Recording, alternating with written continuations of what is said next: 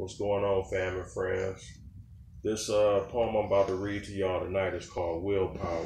Shout out to my cousin Steven. He gave me the idea for this one. All right.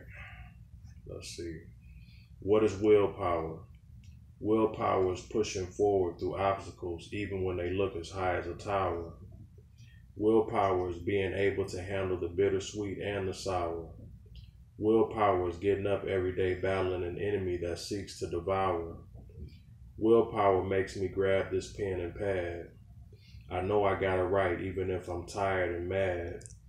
It's a daily fight even if I'm exhausted and feeling bad. Because it's things I want in life I need to add. Willpower pushes me to things I wish I had. I push cause wasted dreams is really sad. Willpower is writing as soon as I get home trying to focus my mind even when my thoughts are trying to roam. Willpower is sacrificing fun for work and goals. It's speaking to unbelievers to save souls. It's overcoming temptations through self control.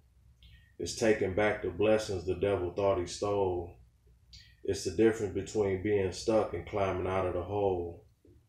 Willpower is getting up, going to a job we hate but still fighting for our dreams and trusting God as we wait.